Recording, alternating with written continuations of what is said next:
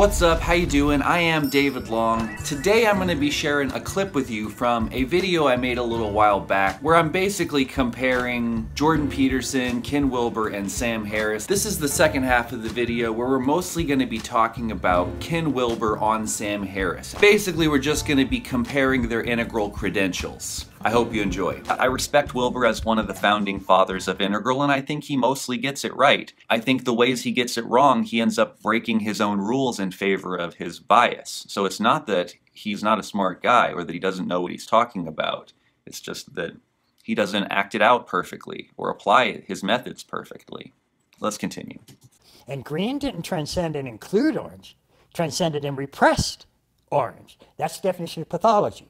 You know what, though? That's Ken Wilber's problem, too. He ignores a lot of science that disagrees with his perspective and favors some of his spiritual Eastern bias and then corrupts the whole project. So, Ken Wilber is not immune to these criticisms either. I think that in a lot of ways, even though he can make a lot of integral distinctions, he commits pre trans fallacies and has certain issues that really mess up his whole worldview. That's a literal koan. That's not a symbolic thing. There's something in you right now that existed prior to your parents' birth, and it's that sense of I amness. The journey of enlightenment, if you want to put it in a simplified form, is the journey that moves you from your empirical self, anything that you can see or know about yourself, any object, to pure awareness, pure self, your true self, the self that cannot be made an object, but is the space in which all of this is arising. That's a literal koan. That's not a symbolic thing. Joseph Campbell, probably the recent era's greatest mythology and interpretive mythology, and somebody I certainly cut my teeth on. I was a great admirer of his and really extraordinary work that he did. He used to very, very uh, vehemently, actually, say that there's really sort of two types of mythology, or mythology forms two different functions. He wouldn't use the terms pre-rational and trans-rational, but the way we're talking about them is the way he would talk about these two functions of mythology. And the first function is when mythology is taken to be concretely real. But what some people do, particularly educated, intelligent people like us that are trying to get some meaning in our lives, we can tend to take myths as deeply symbolic of something else. So that's a very distinguishing way to tell the difference between pre rational myths that are taken to be concretely, literally true, and trans rational myths as deeply symbolic. That's a literal koan. That's not a symbolic thing. There's something in you right now that existed prior to your parents' birth, and it's that sense of I amness. And the problem again with the pre trans fallacy, way too many people take a lot of the pre rational stuff and elevate it to trans rational glory it just doesn't have. Fundamentalist, religious believer, they don't take these things metaphorically. These are not symbols of some higher truth. These are the truth. That's a literal koan. That's not a symbolic thing.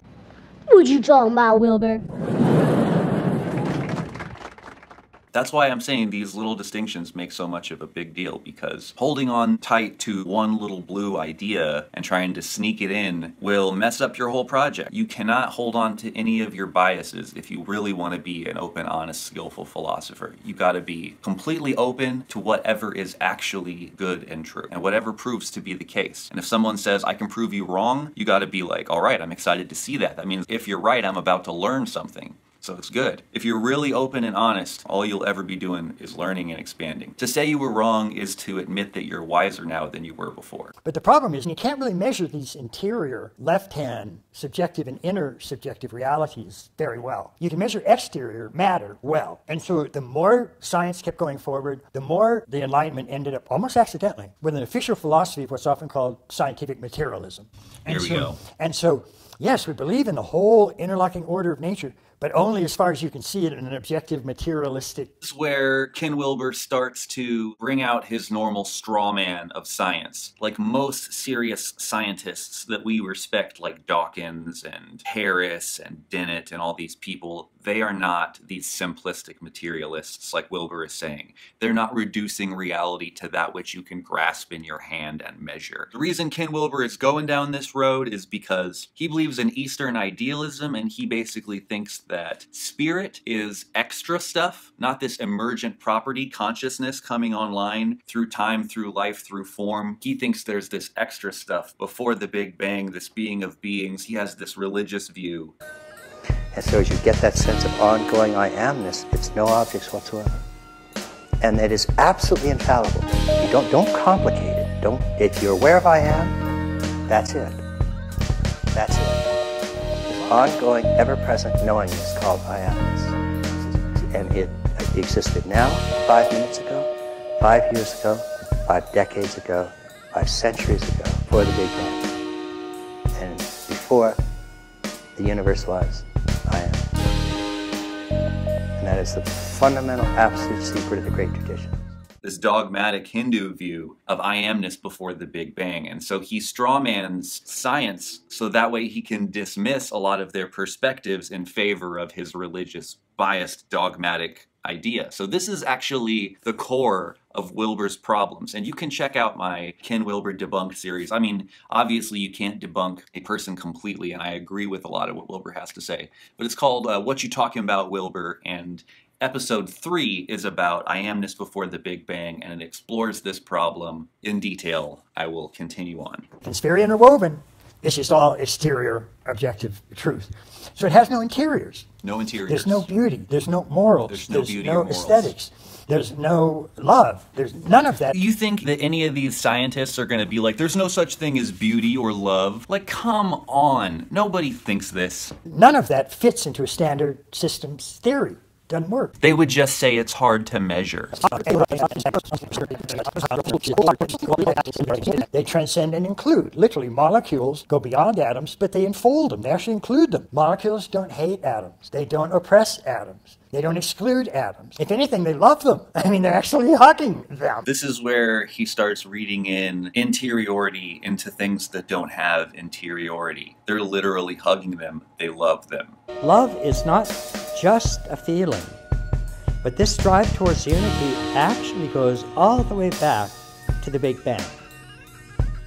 So this sounds like fun and poetic language, and poetically, sure, but he means it literally. He seriously means this. When you listen to him talk more, you will hear it. He literally says this stuff. So Piaget tended to focus on cognitive development. Kohlberg tended to focus on moral development. Maslow tended to focus on motivational development. Jane Loevinger focused on ego development. But the stages were essentially similar, and you could map those across all of these lines. And one of the ways that Wilber goes really wrong with a lot of this stuff ends up corrupting the stages of development, ending up breaking up the partnership between him and Don Beck, is trying to stack Aurobindo state stages on top of Piaget to create a third tier of development using the tier language of spiral dynamics and completely divorced from the regular meta analytical methodology of looking at a bunch of developmental psychologists who are doing a bunch of different actual scientific tests that are cross culturally validated. He's just going to throw a mystic into the mix. I reject all of this. Ken Wilber's assumption that mystics represent the highest stages of development and the integration of Aurobindo's third tier stages. It's yet another example of Wilber attempting to exploit the Graves model and spiral dynamics. He lacks entirely the seventh code, integral, and has no idea how, when, where each of the codes have emerged. I will gladly challenge him to a public debate, but he still hides out in his loft in Denver. The whole idea of tiers is uniquely language from our work, which he steals in order to market his. The man lacks any ethical basis when he does so. He is nothing beyond red, blue, and orange. If he wants to develop his own system, then he should do so without exploiting my lifetime of work, which he continues to do. Our seventh and now emerging eighth codes of second tier are functional, resolve real world problems, and emerge out of life conditions, not out of some mystical realm from Eastern viewpoints which belong to those cultures, not to Western societies. The eighth code is beginning to take shape, and it will not be the sixth code, green on steroids, as many in the integral world believe.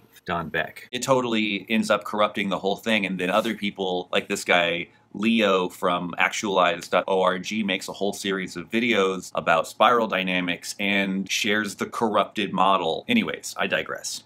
Integral theory represents this development as a spiral. In this film, we'll mostly be talking about amber, tribalism, ethnocentric, authoritarian, which first emerged about 5,000 years ago. So, one thing that I find to be kind of annoying is that we're talking about amber and not blue. Spiral Dynamics uses the color blue, and it does this for a reason. The colors are meaningful. When you move back and forth between warm and cool colors, that means something. The colors represent something. The warm colors are individualistic and the cool colors are communal. So when Wilber changes the spiral to try to match the rainbow or something like that, he's just messing with other people's maps and he doesn't help them in doing so. Also, integral is yellow, not teal. This is not the spiral dynamics map. Wilber has perverted that map. Don Beck is pissed because Wilber is perverting his map and going around and spreading perverted versions all over the place. Constant perverted thoughts. It's some of the things that he leaves out. I find this a little bit interesting. because he's clearly an integral thinker. How is he coming to this conclusion that he's an integral thinker? Ken Wilber loves to do this. Other people have been critical of this in the past. I would love to see him cut the socializing and the endless, I call this celebrity and I call that celebrity. I talk them into integral. and in the end, we agree so much. Why? Disagree that brings the, the, the, clash and the insight and also the qualification. He never debates or argues with anybody within the community or really deals with any of the criticisms in public or anything like that. Off on his own, he'll be critical of somebody, but not to their face and not in like a real debate kind of situation. If you check out Integral Life content, what you'll find is that Ken Wilber loves to have people on, say how much we agree about everything, and then convince them that they're integral already. This is a good sales tactic, but it's not really honest. And it's also a great way for Ken Wilber to basically tell Jordan Peterson's fans if you agree with Peterson, that must mean that you agree with me. And you're probably integral, so you should buy into this. This is a thing that he does a lot. He goes around and he tells people you're already integral as a way to get them to buy into his philosophy. Part of this is kind of true because you want to appeal to people's highest nature, and it can become a self fulfilling prophecy. So it's not necessarily such a terrible thing to do, except for it dumbs down the standards of the community because people think that they don't have to do the work to actually learn the theory to really become integral. They just say, oh, well, I already am integral. It's like this vibe, you know? It's like you can tell who it's who's conscious and who's not. Yeah.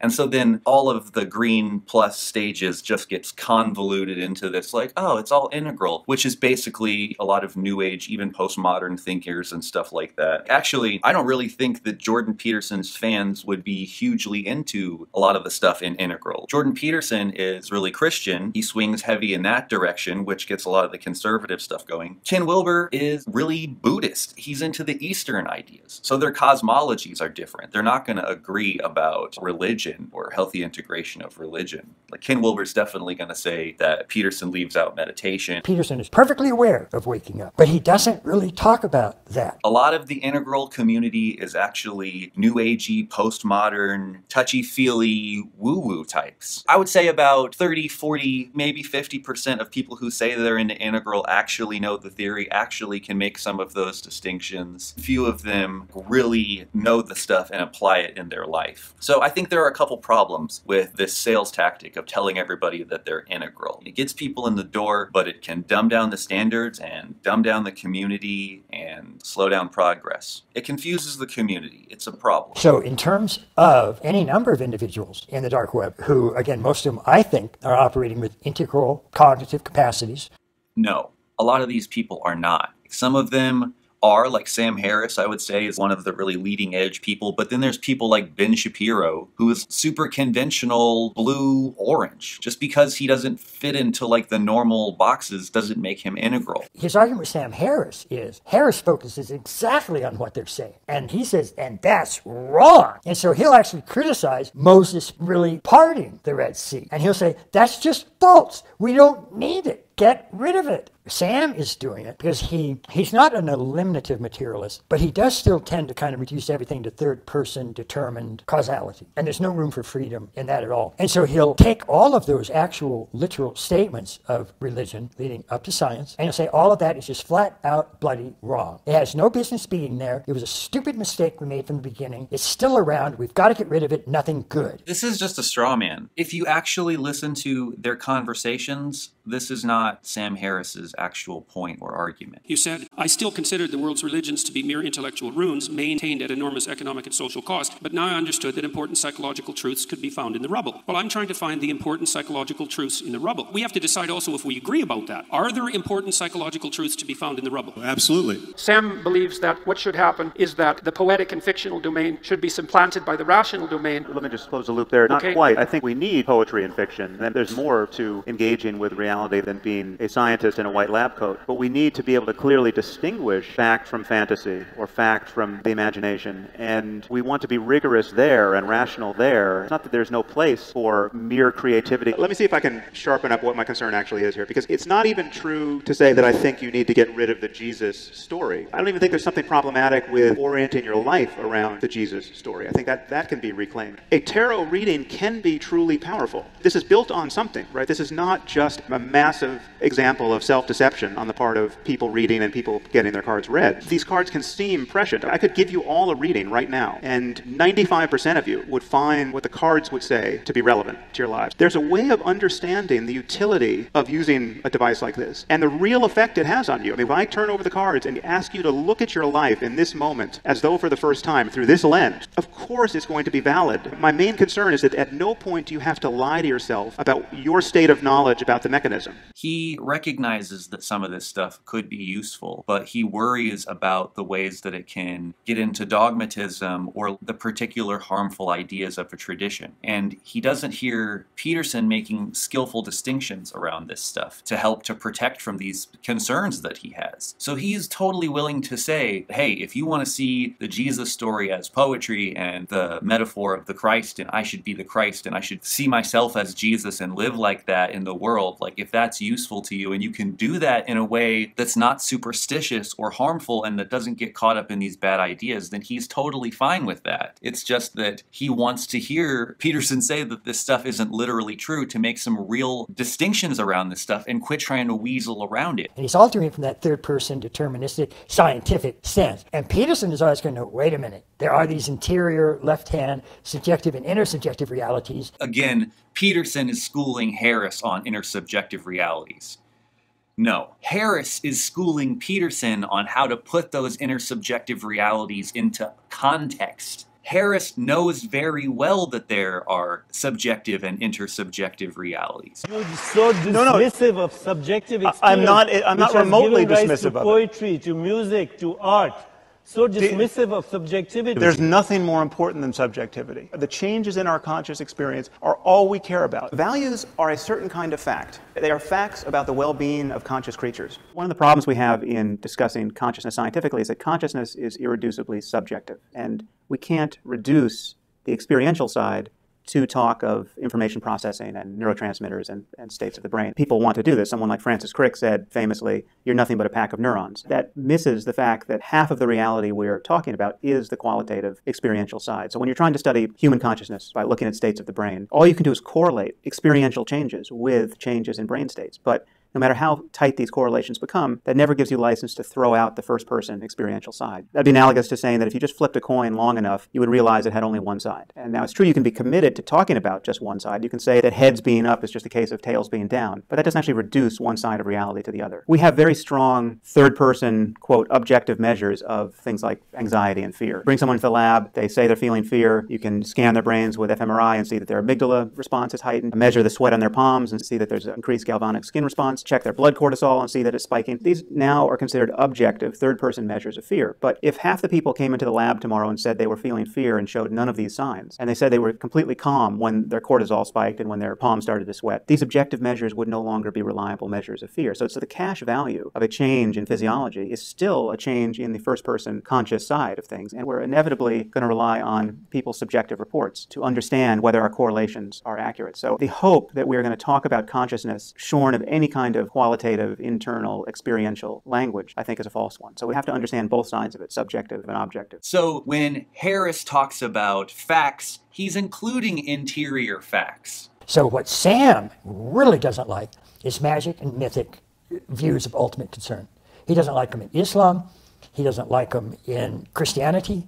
He doesn't like them wherever he sees them. It's not that he doesn't like them, it's that he wants to see society outgrow them. He wants to see real distinctions made in society to make our culture more healthy. He wants to outgrow the unhealthy expressions at these stages of development. It doesn't make sense for the right reason, and that's why it's not a, a, reliable guide given other changes in the world. But with everything changing, you want to be making sense for the right reason. Useful fictions have to be retired at a certain point. Useful truths stay true. The doors leading out of this kind of fundamentalism don't open from the inside. They get bashed open from the outside. And it's humanism and it's secularism and it's scientific rationality that has exerted such pressure now for multiple centuries. That's why we're not encountering the Christians of the 14th century on a daily basis. And he's right, because we are more mature than this now. We do need to be making better distinctions. We do need to have a better culture. Actually, Harris is really good about not just not liking religious ideas wherever he sees them. He definitely makes clear distinctions where he says Christian ideas are bad because they are bad for like things like stem cell research, whereas that's not so much of a problem with Islam, but Islamists have all these problems with suicide bombs and whatnot. And like the more extreme dogmatic fundamentalist you are as a Jainist, the actual less violent you'll be, the less you'll want to hurt something. So he's not just equally against all religious ideas. He understands that certain traditions and certain religious ideas within those traditions are more harmful than others. He's looking at these things in a larger context. He's not coming from this simplistic religion is bad kind of perspective. At the time that they existed, it was in a sense the best we could do. But today, yes, you can do better in many cases using a type of scientific third person approach. But they still are all these interiors, and they still have various rules and patterns that govern them.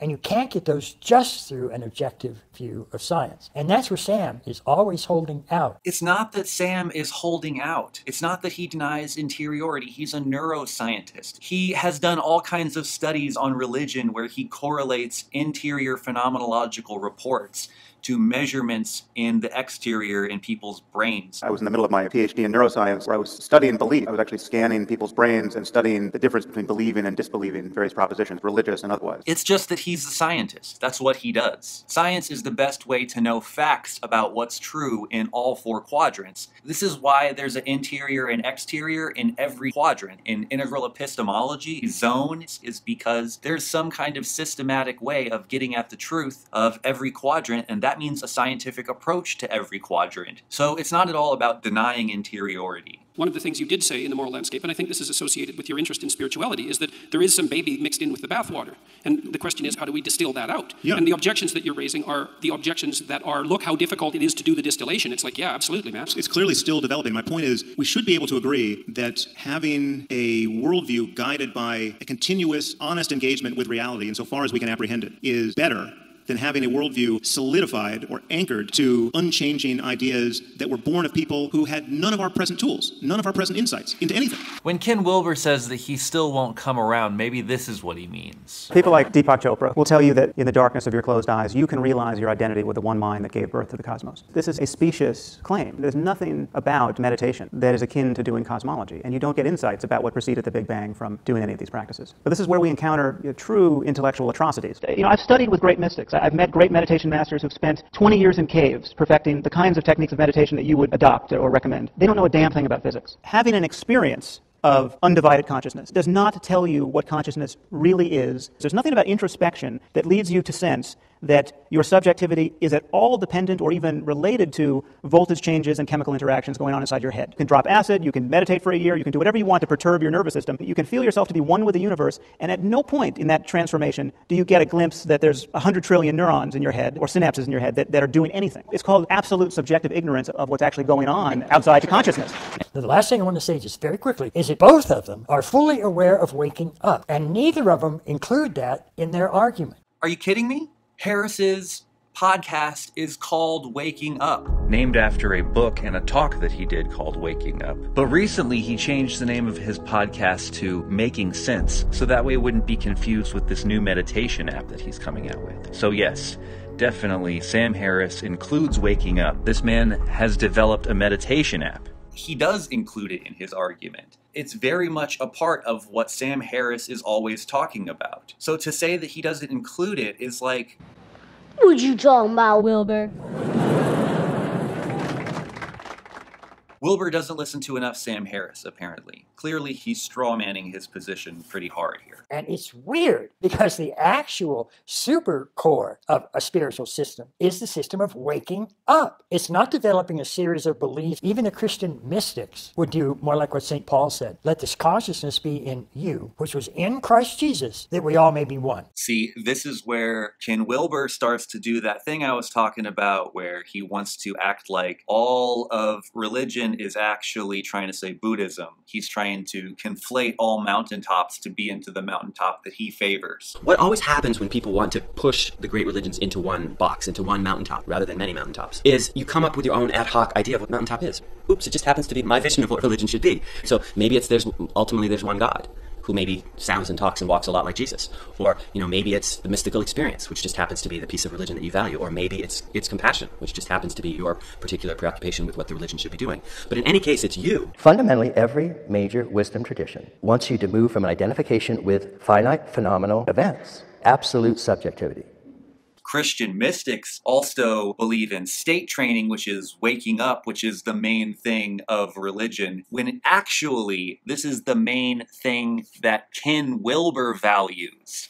It's not the main aspect of religion. And according to the Wilber Combs matrix, whatever state experience you have is always understood from whatever stage of development you're at. And we only ever have our own worldview to interpret whatever experience we have. And so part of Wilber's problem is, is that he's still interpreting his spiritual experience as validating some traditional dogma, the idea of I amness before the Big Bang. I have a video on it. You can definitely check for links below. This is Wilber's main problem, and we see it here. Wilber's view is actually a lot closer to Sam Harris's view, but he doesn't see that because Sam Harris is more scientific, more materialistic, and Wilber's got bigger allergies and negative reactions against Sam Harris. So even though Sam Harris would agree with Wilber a lot more, because Peterson is an idealist, Wilber's actually more sympathetic to Peterson's view sadly enough. In terms of the overemphasis on translation, Integral has created all kinds of hacks integral Christianity, integral Buddhism, integral business, integral recovery, conscious capitalism, and conscious consumerism. So, all of these hacks into the current systems that we already have. But we hear very little, if anything, about what new transformative, integrative systems of the future might look like. And I think Sam Harris actually points us more in this direction in a more reasonable way than Wilber does. Sam Harris isn't encouraging all of us to just become Buddhist. He wants to find some new integrative tradition that takes the best from spirituality, from religion, from all practices, and says, this is human spirituality. This is human stuff that works for everyone everywhere. And to me, that's more integral. It's inconvenient for me as an atheist that when someone dies, or when someone comes time to get married, or when you're looking for a rite of passage for your 13 year old to experience, the only ready made rituals and frameworks for that are religious in some form. I think we need to transcend sectarianism ultimately. I think whatever is to be discovered in the present moment that's profound is by definition non denominational. I think that the truth is deeper than any of our traditions, and I think we have to get out of the religion business as it's been practiced for thousands of years, and we have to find a language that is truly global and truly transcends the accidents of birth. It can't be that by virtue of birth, people in India or Mongolia don't have access to the truth that can be realized in the present moment. And so, whatever rituals we have that frame these moments in life that are profound and I think need to be framed in a way that separates them from the rest of our superficiality. I think we need beautiful buildings and we need moments in life where we engage our ethical depth and what's most important to us, whether it's community or the transience of life or our hopes for our children, uh, whatever it is, there's more than what we tend to access in our superficiality. But I think a thousand years from now, or even a hundred, we need to find a moment where we have left our sectarianism behind. I view the secular project as being that ultimately. In the dark web, who, again, most of them, I think, are operating with integral cognitive capacities. Notice he didn't say that Sam Harris is also integral, even though he's a part of the intellectual dark web, because Sam Harris is a scientist. Ken Wilber is going to say that he's an exterior quadrant reductionist and reduce him to orange. This is where Ken Wilber's bias starts to show in his assessment of these guys. That's a fairly good description of ultimate unity consciousness. That's what around the world there are various, at least sub branches of religion that know about this. And it's called enlightenment, awakening, Sanskrit, it's moksha, pure freedom, it's satori, it's the great liberation. Enlightenment, awakening, satori, all of these are Buddhist words, man. Oh, you're like, really, it's all Buddhism, dude. Bad integration,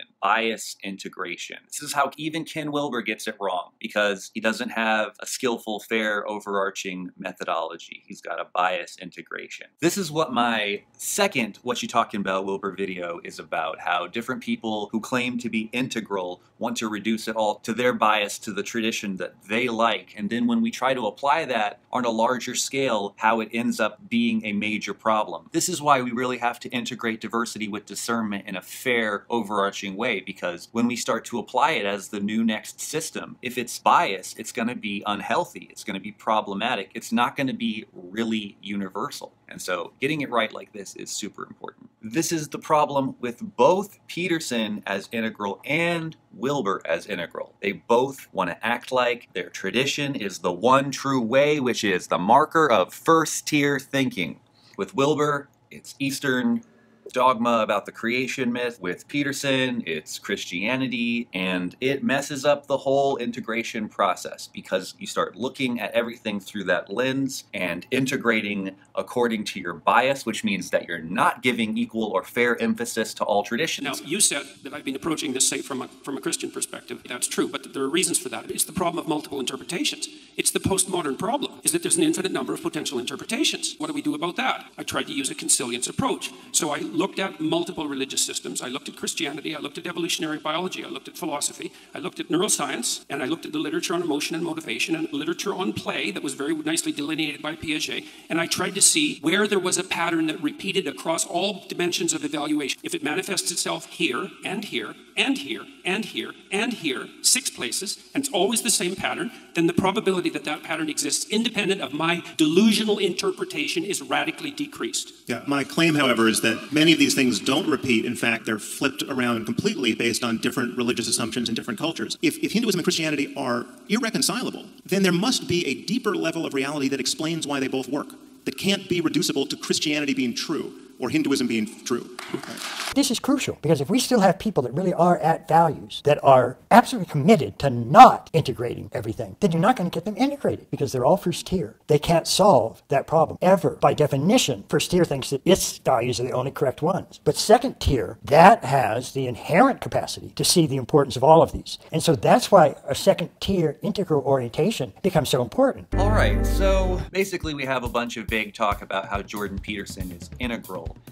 as a way of taking a popular figure in the zeitgeist and using him as a means to teach people about integral and especially stages of development. I do think this is a worthwhile project. I myself have done it in many videos using Jordan Peterson and Sam Harris as a means to talk about integral because they're both so close and even seeming like if you put them together, maybe they could together somehow equal an integral perspective. I, I do think there's something to that, but I digress.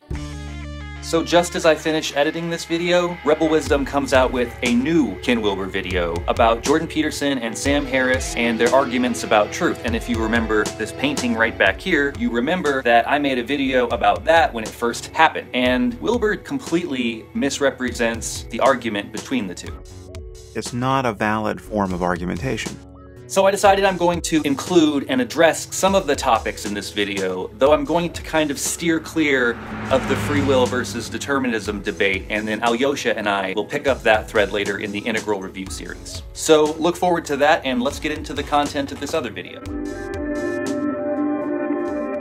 Another key concept from integral theory can perhaps resolve the well-known dispute between Jordan Peterson and Sam Harris, where they couldn't even agree on the nature of truth. From this perspective, Harris was insisting on a scientific, objective definition of truth, while Peterson was more interested in a cultural definition, truth as culturally agreed and transmitted through myth and story.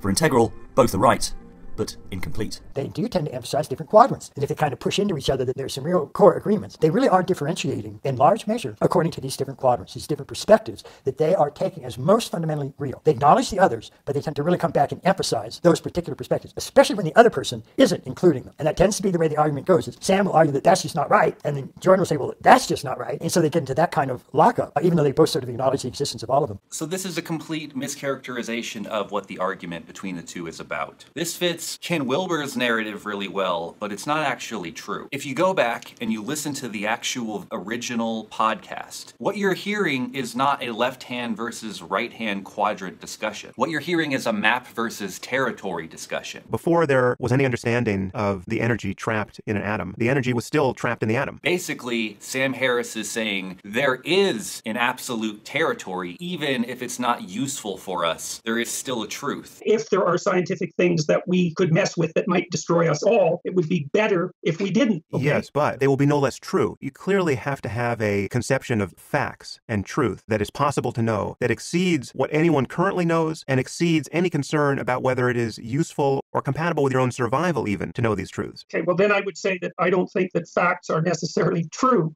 so I don't think that scientific facts, even if they're correct from within the domain that they were generated, I don't think that that necessarily makes them true. I know that I'm gerrymandering the definition of truth, but I'm doing that on purpose. Sam Harris gives a bunch of really good examples, constantly pointing back to the fact that there is a fact of the matter, as he likes to call it. What he really means is there is an absolute truth. Even if we haven't yet discovered it, he says, there is a truth of the matter, even if we never discover it. See, this isn't talking about exterior quadrant scientific facts. He says that there's a fact of the matter about what JFK was thinking before he died. So we're not talking about exterior quadrant stuff. We're saying that there's a truth of the matter. There is an isness, as Ken Wilber would say. The good, the true, the beautiful, they all have an isness factor. And that's what Sam focuses on. And Sam Harris was saying that there's a problem with reducing everything down. You're not noticing the price you're paying for redefining a word like truth. And ironically, it's probably even a steeper price than what these gender pronoun maniacs are attempting to pay for asking that everyone use their favorite word to describe their identity. It's possible to survive without having a clear notion of truth, but it's probably not possible to be reliably understood in a conversation about scientific reality or anything else that we're trying to talk about here. It seems to me what you're doing here is you are marrying the concept of truth, which is a epistemological one, also the concept of goodness, and maybe you want to freight it even more with the concept of beauty. You're going to fuse truth and goodness and even beauty together as this jewel that can't be spoken about in terms of its separate parts. Take my terrorist. We could put you in a situation where knowing something or not knowing something would get you killed, and yet the fact that it would get you killed doesn't reach into the truth value of the statement. If there's someone going around Toronto killing people for not being able to name all the US presidents in sequence, and let's say he's wrong about what the sequence is. So if you give him a sequence that is in fact inaccurate, that is untrue, but it works for him and you survive, it doesn't make it true. It makes it true enough to survive. It's not like you don't put your arguments forward with power and coherence. It's, they're powerful arguments. And I'm not saying that I'm right. You are saying that you're right in the sense that you're not persuaded by the argument here. It seems to me that you have to grapple with this. Or at the very least, I need to move forward knowing exactly what you're claiming here. And I don't believe that I do. Sam Harris is basically saying to Jordan Peterson that his whole conception of truth is self defeating and that he has to end up appealing to this other kind of truth to even make sense of what he's talking about. And so he winds up weaseling his definition. Basically, Jordan just says that this is the game he's playing, and even if it is inconsistent and incoherent, this is how he's going to play it. He's decided to play it this way. It's basically his belief system. This is another claim of faith, I suppose. But when we're starting to mess around with the definition of fact and true, you get down to the place where you have to make axiomatic presuppositions. And like I said, I talk about this stuff in my original video, and I explain it much better than Ken Wilber did in detail. You should check that out if you're interested in hearing more about that. Let's continue. Sam, even though he'll say things like consciousness is real, consciousness is the only thing that can't be doubted, you can look at consciousness in a kind of objective way, and there are subjective truths, that kind of stuff, he still has a tendency to interpret what that means from a third person deterministic fashion. So this gets back to the idea of realism. Yes, Sam Harris is a realist. Sam Harris is also a scientific academic, and so this means he's not going to make claims based on personal belief or beyond his ability to know. And so he's going to be a hard agnostic until he can prove it because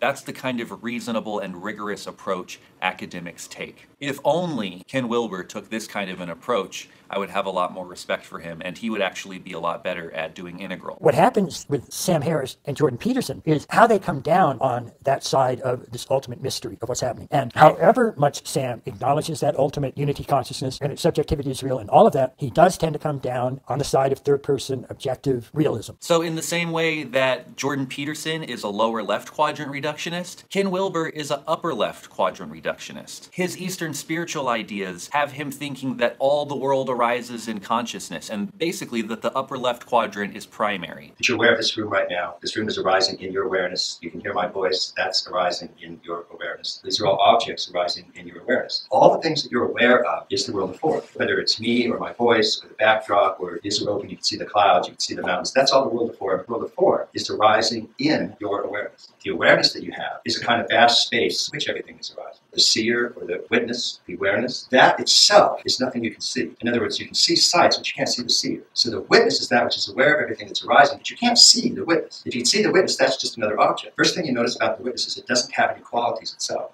It's just an empty space in which this is all arises. So emptiness is not a concept. That's exactly what emptiness isn't. It's not a thought or an idea or a concept. It's this vast, transparent openness in which everything is arising moment to moment. And yet also realize it's all arising within you. Clouds are arising in you.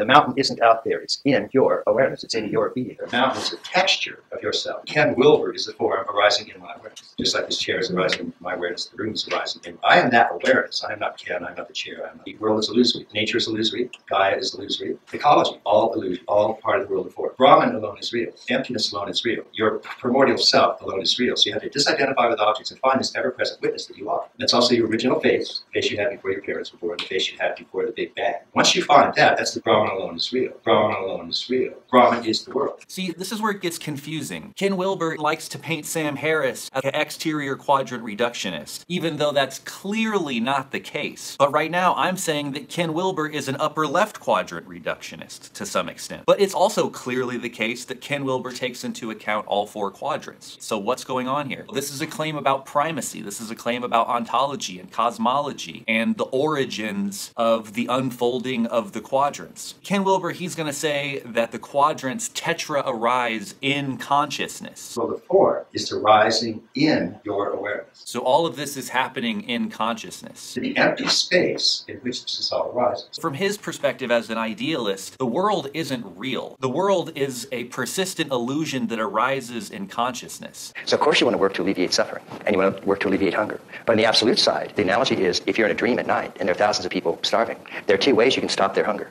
One is in the dream, you can try to feed them all. But the second is you can wake up, and that will end their suffering immediately. He thinks that when you awaken, you realize that basically the world isn't real. This is part of his literal Buddhist way of thinking about things. And so this corrupts his view. Not only does it corrupt his view, but it kind of messes up his ability to really care enough to get involved in the world, which is why a lot of people have never even heard of Ken Wilber. Ken Wilber and Sam Harris both talk about state training and waking up, but they do talk about it a little bit differently. Sam is a longtime practitioner of mindfulness. There are many different kinds of meditation. The kind I've done is traditionally a Buddhist practice many people know of as mindfulness. And I've done this on retreat where you go into silence for weeks or even months at a time. And so he describes this deconstruction of the self where at a certain point the center drops out and there's just the world. The way I talk about the self is one where the punchline is that our conventional sense of self is an illusion. It's an illusion that you can cut through neuroanatomically when you just look in the brain. There's no place in the brain for a unitary self to be hiding. There's no one place in the brain where everything comes together, where there's a rider on the horse of consciousness who can appropriate everything in experience. Anatomically, that doesn't make sense. But as a matter of direct first person experience, I also think it doesn't make sense. When you interrogate the sense of self through a technique like meditation, it can fall away. You don't feel identical with your body. You very likely feel like you have a body,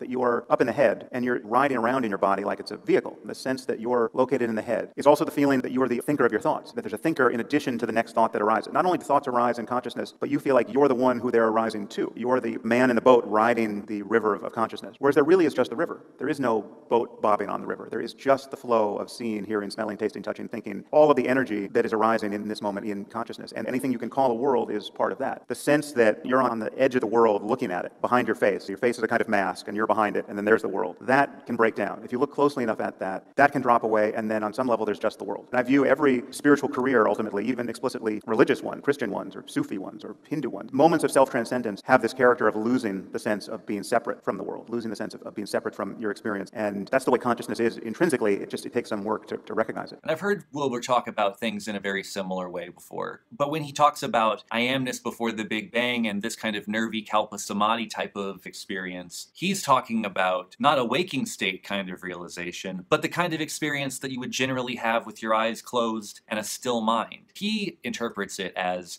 there is just I amness. There is just pure witnessing awareness. There is just consciousness. So while Sam says there's just the world, that can drop away, and then on some level, there's just the world. There's just the universe in flux. Wilber says there's just I amness. The world is illusory. Nature is illusory. Gaia is illusory. Ecology, all illusion, all part of the world of form. Brahman alone is real. Emptiness alone is real. Meaning there's just consciousness, and everything that arises arises in consciousness. This is the primary disagreement between the two. And I actually think that Sam Harris's side is actually more reasonable and in touch with integral theory, while Ken Wilber betrays his theory in favor of his bias. Bias. It's not a claim about the metaphysics. It's not a claim that the, the universe is made of consciousness. Yeah, I'm kind of agnostic as to what the relationship between consciousness and the physics of the world is. And we certainly don't understand it at this point. But as a matter of experience, there is just consciousness and its content. So, yes, Sam Harris is a realist, but not because of some dogmatic belief, but because that's what the evidence seems to suggest. There's a false assumption about science operating here. Science is not in principle committed to the idea that there's no afterlife or that the mind is identical to the brain or that materialism is true. Science is completely open to whatever in fact is true. And if it's true that consciousness is being run like software on the brain and by virtue of ectoplasm or something else we don't understand can be dissociated from the brain at death, that would be part of our growing scientific understanding of the world if we could discover it. And there are ways we could in fact discover that if it were true. The problem is there are very good reasons to think it's not true. And we know this from now 150 years of neurology where you damage areas of the brain and faculties are lost. Everything about your mind can be damaged by damaging the brain. The way in which our mind is parcellated at the level of the brain is not at all intuitive and there's a lot known about it. When we look at the evidence within the context of science and a valid theory, through the quadrants, we can track and correlate the development of interior capabilities to tangible exterior hardware that makes those things possible. And so, if we could know all of brain neurophysiology, at some point he explicitly says, then we would understand all of evil and presumably be able to fix that. And again, that's just pushing it way, way, way too far. He says it's pushing it way too far, but look what he actually said. There are truths to be known about how human communities flourish, whether or not we understand these truths. And morality relates to these truths. So, in talking about values, we are talking about facts.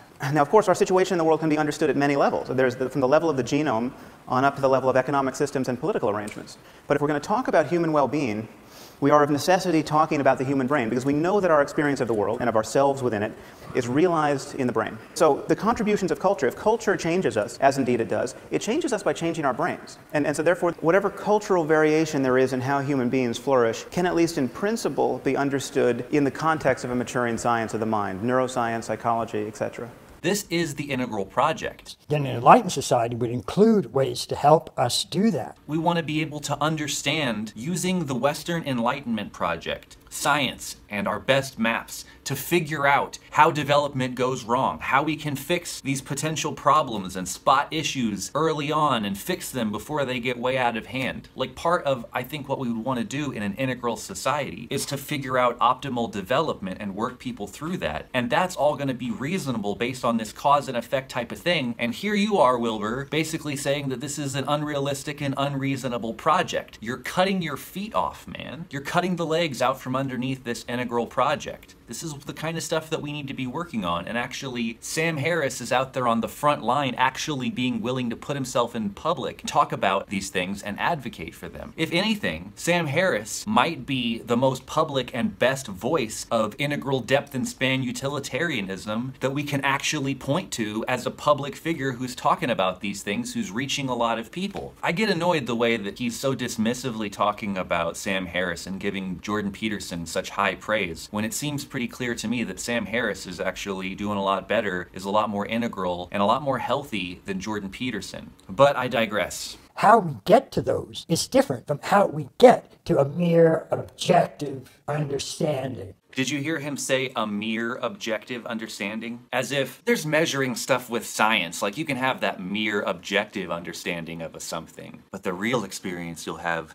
the real knowledge of it is this first person experience. The reason we have a scientific revolution was because first person experience is the least reliable type of experience, which isn't to say it's not valid. If we're talking about an exterior tangible reality, science is the best at knowing about that thing. If it's a thing, science is the best at knowing about it. So, how we understand that atoms make up molecules is different in terms of how we understand what you and I should be doing. There's an overall type of truthness to whatever we're saying, there's an isness to whatever we're saying. So, even if my values arise in my awareness, if I'm aware of them, they have an isness, they exist, they're phenomenologically real. And so I can say, well, that's the isness, that's real. And then the same is true for the good, the true, the beautiful, they all have an isness factor. And that's what Sam focuses on. That's right. And part of Wilber's problem is when it comes to skillful integration, he's looking in the wrong quadrant for data. He thinks he can prove facts about the origin of the universe and the development of consciousness by closing his eyes and looking at his still mind through the lens of Buddhism. This is not skillful integration. He's not even really true to his own theory and his own maps, and that's the problem. He'll just say, well, there are things that are ultimately true, and he focuses on the isness of that, and that's what we should go for. And again, that's fine. But the methods that you get to those isnesses, those are still different. And Sam is focusing on those right hand exterior approaches. So we've covered this. Sam's a neuroscientist. He understands the difference between phenomenology and empiricism. We're just going to move on from this. You have two fundamental, unprovable choices about how you want to view this relative world as it's horizon. And there either is the creative advance into novelty, or there isn't. He frames it here like even though there's not good evidence, he believes it because it seems to explain things from his perspective. Yeah, but the problem is that his perspective is too heavily influenced by Eastern mysticism and Buddhism, and so there's a major bias, and that's why he wants to accept this minority held position over what the majority of actual scientists think. And he basically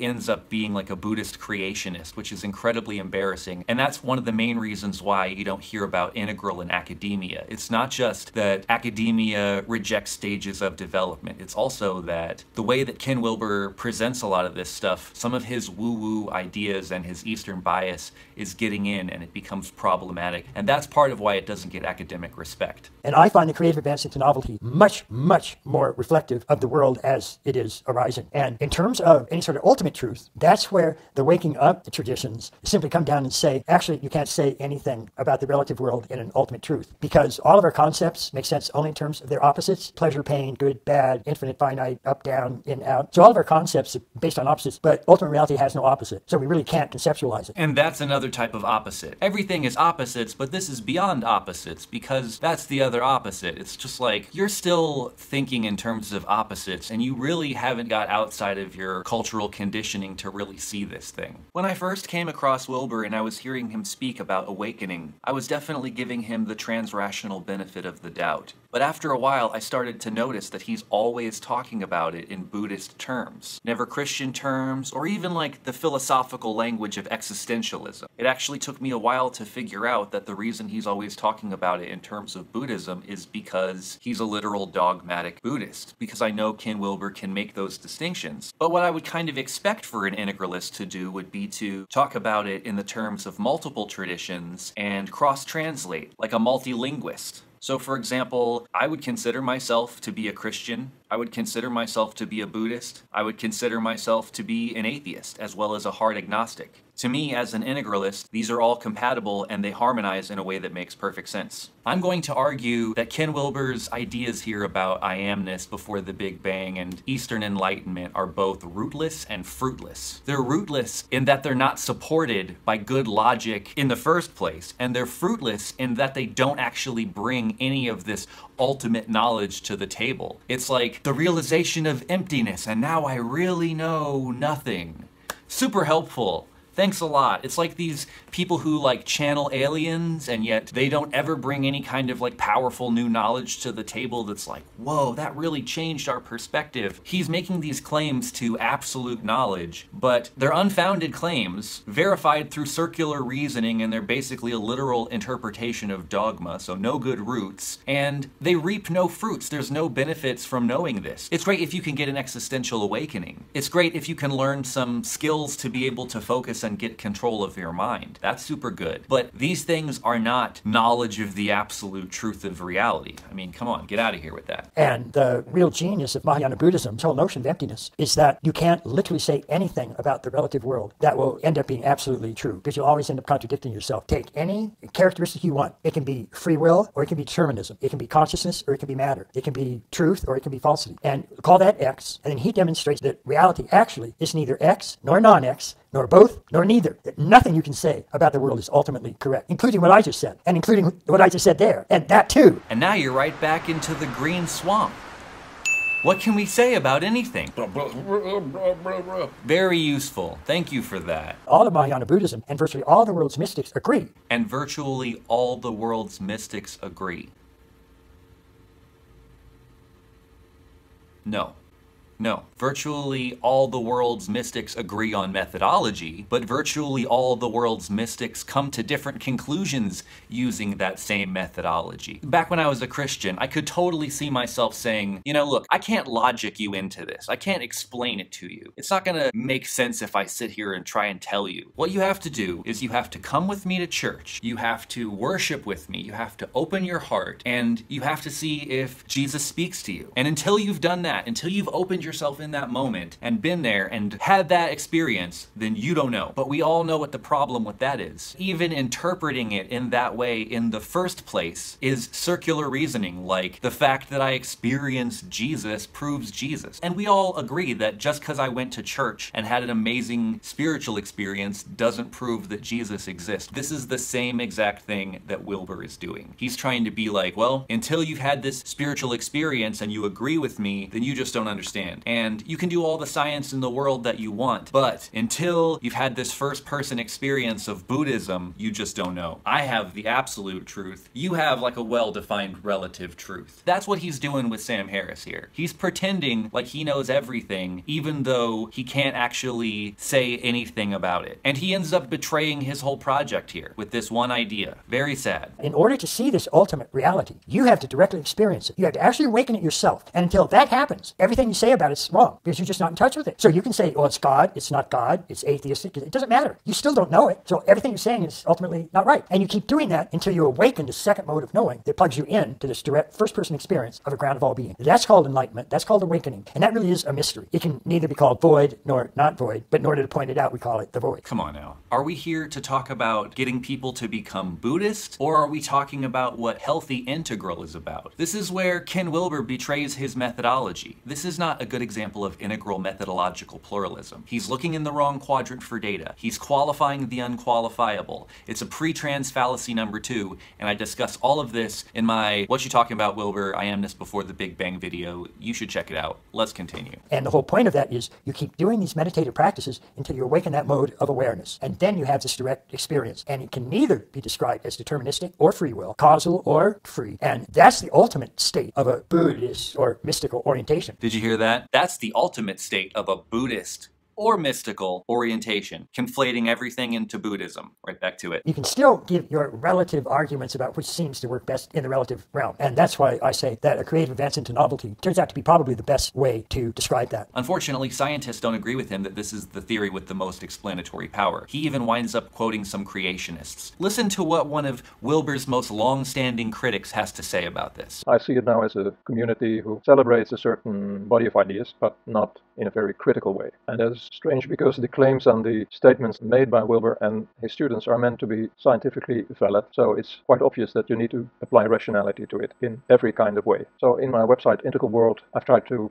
embody that. And for 20 years now, I've posted critical reviews of Wilber and his ideas on the website all around the topic of evolution. That's a large domain, of course, but it is very central to integral theory because Wilber even started to use the label evolutionary for his every activity. Where first integral was the label and the brand, it was now evolutionary. Compare that to the fact that he has actually zero understanding of the basics of evolutionary theory, and the very few things he has written about it are worse than an average creationist would dare to write. So that is a really horrible situation, intellectually speaking. The same thing with physics, because Wilber believes in his beloved eros in the cosmos, and that means a force behind the whole trend towards complexity and consciousness. From my side, I see that as begging the question big time, because that way you never have to explain how these things emerge. You just say there's a force behind it that does it. In science, that's a no-brainer, and even in complexity science, nobody would say that has any kind of validity as a cop-out. In fact, there are many interesting ways to explain the emergence of complexity, from the very small to the very large, and in no way do we need to resort to easy so-called explanations like there's a spirit behind it. That is the end of science and the end of rationality. The areas of biology and physics are relevant here. In biology, Wilber is just a crypto creationist who has not even done his homework and he tries to score his points as a politician with soundbites and slogans and ridicule. He has, I think, not even an interest in the field. He doesn't care about how birds fly or the human eyes evolved or species separate. For him, the only point that counts is that he can maintain there's a spirit behind everything and this spirit can be contacted, and then this is the basis of modern spirituality.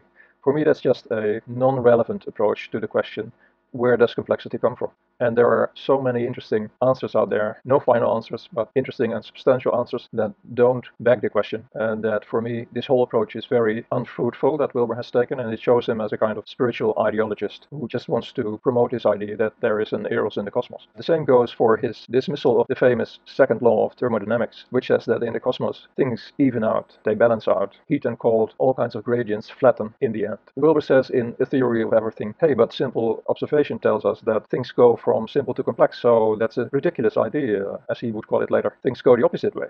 But if you really study that field, you see that both could be true. There's a paradox that even in a universe that burns itself up, stars burn until they have used up all their hydrogen. Complexity under certain specific conditions can arise. And it's especially this, this paradox that is interesting. Wilber wants nothing about this. He just dismisses the second law and says there's a trend towards complexity and there's even a spirit behind that. Well, here again, he's completely out of touch with science. And that's really embarrassing for somebody who has a better education and he should know he should know better than that. But the fields are very big and I'm not claiming to have a very expert knowledge of it, but even as an amateur, I can find so many holes in his writings that it's embarrassing. If this is really just totally obvious, it wouldn't be a perennial, unsolvable philosophical question. It does come down to that mystical notion that ultimately all of these concepts are based on opposites and ultimate reality isn't an opposite. So you're always going to get caught up in these kinds of arguments and you're never going to be able to argue them fully. The only way you're going to be able to know the real answer to any of that is to experience that pure ground. And then that will solve the issue for you in a direct and immediate sense. Just ending on Buddhism. Here to talk about integral, but Buddhism Buddhism the guy that got in the Texas Tower and shot up a bunch of people, he told his jailers that when he died, do an autopsy because something was wrong with his brain. And they did found a tumor. And so Sam will say, when we really understand everything about neurophysiology, we'll understand all of evil behavior, just like this tumor is causing Whitman to do that. I said I was going to steer clear of this free will stuff, and I'm, I am going to try to. But just the problem with that is it's just too extremist a version of it. Because even if the tumor tended you towards antisocial behavior, it didn't say, get in this particular tower at this particular time using this particular gun, shoot exactly these many people, cause exactly these many deaths. But that's a deterministic mechanism that he demands in order to interpret what's arising. So this is getting a little bit ridiculous. Obviously, he's not saying that the tumor causes everything in this man's life. And the reason he chose that shotgun or that tower or whatever, those are also deterministic. They probably have a lot to do with proximity. And he also goes on to say this. The whole notion of some degree of freedom in itself is very hard to describe adequately. Because as soon as you say what that free choice is, you can always come up something that preceded it and it was outside of your control. And so you never really look like you have freedom. In the integral view, we have what's called a cosmic address, which is simply when you add up all of the various dimensions that a particular holon is at, what its quadrant is, what its level is, what its line is, what its state of consciousness is, what its type is, that gives you its sort of location in this manifest universe. And all of those constrain your activity right now. They're all determining it to some degree. So yeah, there's that. He answers his own question. If you actually push that deterministic position, it really gets into problems and doesn't work very well. I mean, we went from just simple quarks to the sonnets of Shakespeare. The undeniable fact of that is that novelty is just all over the bloody place. And if you have strict determinism, you can't get that. It's not going to happen. And that's just a ridiculous claim. He has this idea like, if you don't have souls, if you don't have free will, there won't be novelty or evolution. Ken Wilber still believes in reincarnation. Anybody who's a parent has three children knows that they come with souls, and they are 80% formed. And you treat them all the same, and you've got a doctor, a bank robber, and a serial murderer. It's absolutely mind boggling. The easiest way is to just say reincarnation. They come with this repository. They come with souls. He believes there's a soul. He believes that there's this spirit underlying everything. He still thinks that there's some extra stuff, even though there's no good reason to think that, and we don't really need to postulate any extra stuff in terms of actual explanatory power for why things work. So Ken Wilber rejects determinism in favor of some really flimsy version of free will to salvage and include his soul spirit stuff. Somebody like Immanuel Kant wants to get you from a position that he considers unfree, other directed. Your thoughts aren't your own. You're a conformist. You're part of the herd mentality, governed by other people's thoughts. And you can tell if that's happening. Or if you're self determining, creating your own thoughts, you're having your own viewpoints, you're not conformist. You're not other determined. It, almost none of the believers in free will believe that there's maximal autonomy. That just means you're radically free and have no constraints on you whatsoever. Almost everybody that believes in some sort of free will believes that there are constraints. So getting a meta perspective on your perspective is not a view from nowhere. It's still a heavily conditioned perspective. And if anything, learning about Buddhism or whatever, that's just more cultural conditioning. So as you learn and develop more up the spiral, you're getting more and more cultural conditioning. There's no getting out of it and making a choice beyond my conditioning. No, we are heavily conditioned beings. Everything we know and think about everything we think because we've been taught to think that way. Everything we know has been communicated to us by someone else. We are social creatures. There's a really good video series I like called Everything's a Remix. I would highly suggest it. It starts with music, then goes into movies, then it talks about technology. But the idea here is that how anything is created, it's by remixing the stuff that we already have. These are the basic elements of creativity copy, transform, and combine. The genes in our bodies can be traced back over 3.5 billion years to a single organism, LUCA, the last universal common ancestor. As LUCA reproduced, its genes copied and copied and copied and copied. Sometimes with mistakes, they transformed. Over time, this produced every one of the billions of species of life on Earth. Some of these adopted sexual reproduction, combining the genes of individuals, and altogether, the best adapted life forms prospered. This is evolution copy, transform, and combine. And culture evolves in a similar way, but the elements aren't genes, they're memes, ideas, behaviors, skills. Memes are copied, transformed, and combined. And the dominant ideas of our time are the memes that spread the most. This is social evolution copy, transform, and combine. It's who we are, it's how we live, and of course, it's how we create. Our new ideas evolve from the old ones.